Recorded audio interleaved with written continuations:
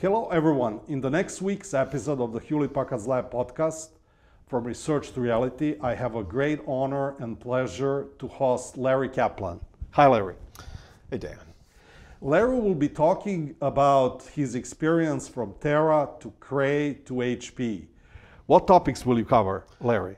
So, uh, we'll talk a little bit about the path uh, that I traveled and some of the work that I've been involved with and will be involved with going forward, and then maybe a little bit about uh, careers in, uh, in computer science and architecture. And the fastest supercomputer in the world. Sure, we can talk about that as well. Please join us. Extremely interesting career, great insights, a lot of advices for young engineers.